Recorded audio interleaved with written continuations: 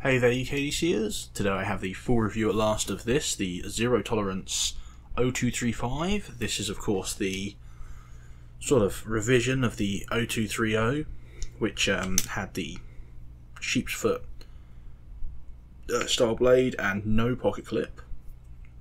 Um, this was basically everything I wanted out of that. Uh, I I prefer the look of the uh, sheep's foot blade, although functionally I actually do prefer this one. And the pocket clip, um, I just really felt it needed the pocket clip this one. Uh, but without further ado, let's get on to it. You get your standard sort of new age zero tolerance box here. They've still got stuff on the side, but now it's premium performance and premium materials instead of it's a real beast and things like that. So they've toned down the cringe a little. Uh, this is USA made, of course, being a, a proud US company, um, which also is reflected in the price. And the price at time of filming for this, because of course it always changes, is 189.95 on Heinnie Haynes. Uh, you can still get the other one for uh, for slightly cheaper. The other one's 178.95. So um, this is designed by the Danish designer Jens Anso. See Anso Design right there, who was also responsible for designing this, the MKM Root, which I'm currently reviewing right now, or carrying for review right now anyway. Um, you get two carbon fibre scales, two little steel inlays in the middle there. This, uh, I think, aluminium um, backspacer, the pocket clip there, and a 20 CV blade. And obviously, each blade is serialized there.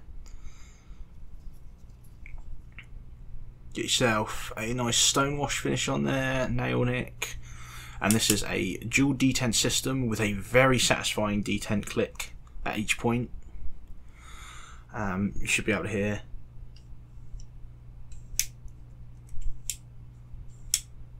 That's a very satisfying, as much for a, a detent as there is anyway. Um, a lot of people really don't like detent knives, but I'm not one of those people. I, I really do quite like these. Uh, so it's very easy to open. Um, you can put a thumb stud on it if you want, although you really don't need to. You can just sort of pinch it open a little bit and then finish it the rest of the way like that. And that's honestly how I've been doing it. Like I've really not been two-handing it. Um, I've just been pinching it open and opening it like that, which has worked absolutely fine for me. Uh, washers on this, I believe, are phosphor bronze. Uh, hardware type is just the standard T8 pivot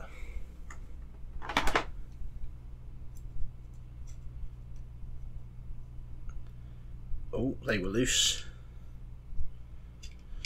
T6 body screws. So no complaints there. Uh, you can see centering is nice and perfect. No blade play whatsoever, which is great.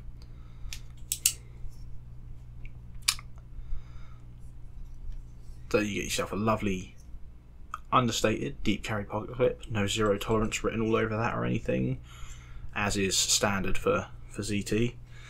Um, it just looks like that in your pocket, which is so nondescript. That's fantastic. Um, I really like, really love stuff like that. I really like the real steel pocket clip as well because it just looks like a pen.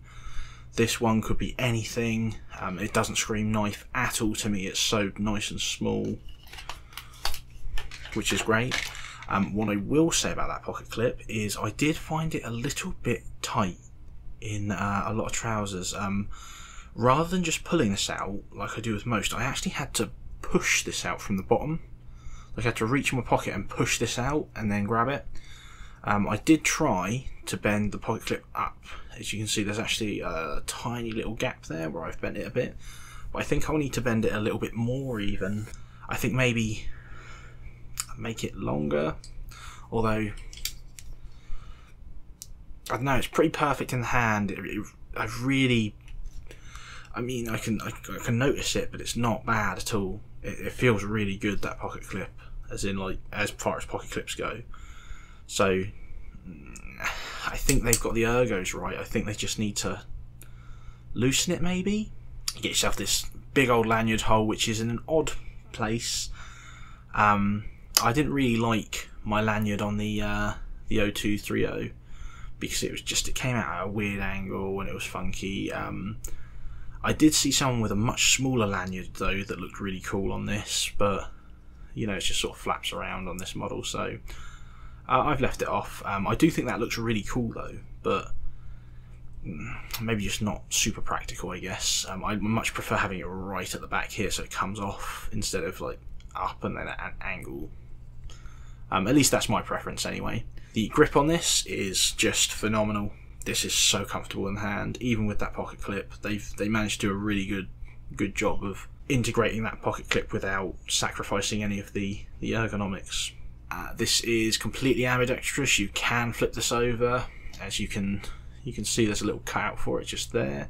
You will have to take the knife completely apart to do that, however, because the screws are on the inside going into that way. It's a bit of a kerfuffle. It sort of goes over and then screws down that way. I think it's just one screw as well. Uh, but yeah, uh, it's, it's not the easiest to flip over.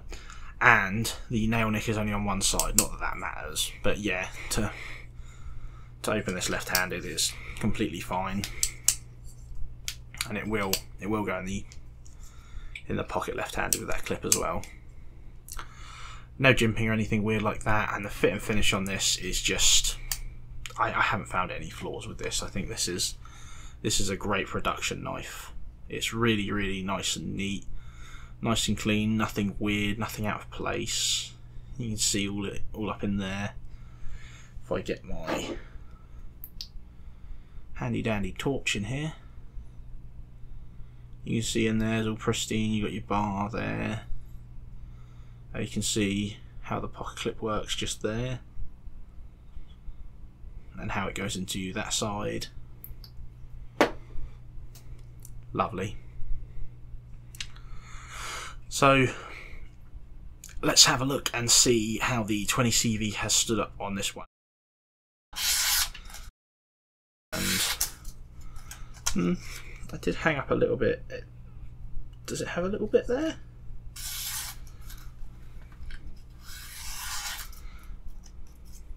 Hmm.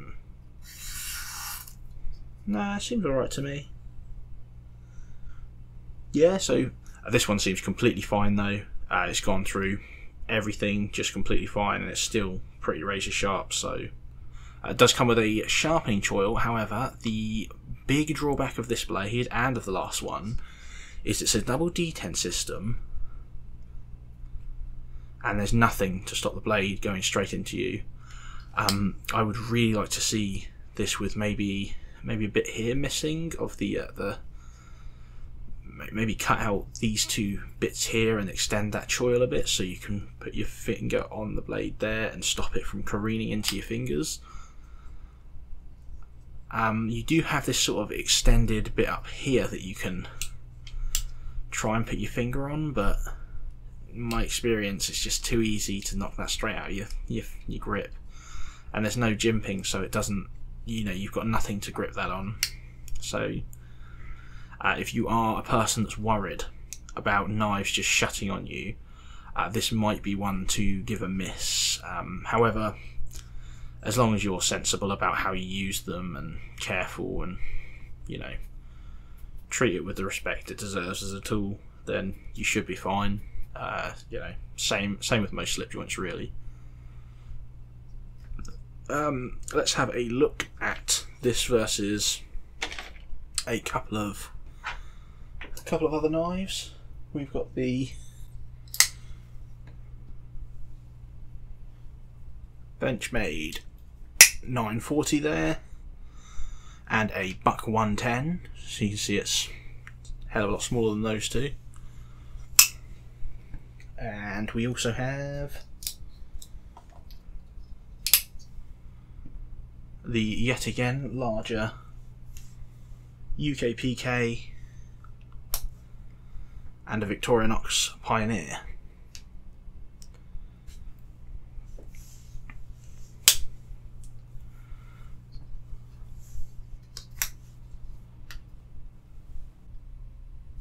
So this was actually very nice to carry. It's very inconspicuous, disappears into your pocket with a lovely deep carry pocket clip, very light. Uh, talking of the clip, you can see it's already picked up a little bit of wear, so the coating's not great. Um, apart from that and it being difficult to remove, I'm going to have to lift this up with a pry bar a little bit more to make it easier to remove from my pocket. Uh, I think it's fine. Um, you know, it feels nice. It's it does the job. I like that they put zero tolerance up here rather than on here you know, which is just annoying. So, you know, you can see it at all times still, but it's not everywhere. And the only stuff on the blade otherwise is your serial number, you know, uh, 0235 Kai logo there, you know, KAI, which is the sort of super company of Kershaw and Zero Tolerance and that lot. Anso Design, USA, the steel, and your serial number, which is quite a lot of information, but they kept it quite small. Um, I kind of like that. It's yeah, it's not on this side either, so that's quite nice. Grip is just this is such a knife, nice to use in hand, and the the blade shape here is. I really wasn't sure about it at first. Um, when I first got this, I thought, mm, it's a bit ugly, isn't it? Uh, you know, it's a bit weird. Uh, I definitely didn't like the look of this as much as the sheep's foot, the Wharncliffe uh, style. Um, but honestly, in use, I think this is better. Um, the upswept blade makes this just better to go through a bunch of things. It's nice and pointy, uh, sort of like the MKM Chilena. You know, just you can easily just pierce things and cut down through them. Um, I really do like this. It's quite a nice blade stock there. You can see it's it's got nice little finishing touches, like it's very lightly beveled at each edge, which is wonderful. And you see it's still got the horrible factory grind on there where I haven't sharpened it yet. I mean, look at that, that's nasty. They do love to to make that as nasty as possible, but um, my other big problem with this, and from what I gather from the 0230's uh, review and all the comments in that, everyone else's big problem with this is what you're getting for the price. Uh, this is a lot of money. Uh, it's £190 for two slabs of carbon fibre and your 20 CV, and of course, we're paying the premium because it's USA made, but so one of the biggest arguments against this price range wise would be one of these uh, which is almost exactly the same handle size. It has a longer blade length as you can see. It's got just as a nice like pointy blade. Uh, the ergos are great on it. It's aluminium handles for this one. You can you can splash and get the more expensive ones if you want but you know, there's nothing wrong with this one. £98. It's £90 less than this. Uh, it's essentially the same steel. M390 and 20CV are very chemically similar.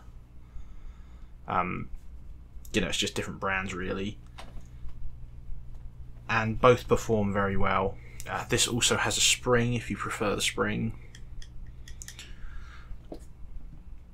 Now I really like this, but buying one of these knives with £190 and you get to keep the change, uh, every day of the week I'm going with this because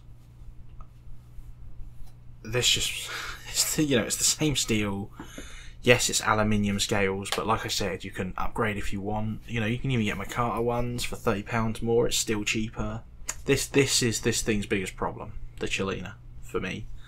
Um, I do still really like this, but there's a lot of competition on the market right now, and with things like this coming out at the prices they're coming out for, and you know, this is Italian steel. This isn't just like knockoff, you know, uh, you know, uh, made in China, made in Taiwan, that kind of thing, where it's, you know, all right, you know, they're they're great, great factories, and there's some some really nice knives come from there, but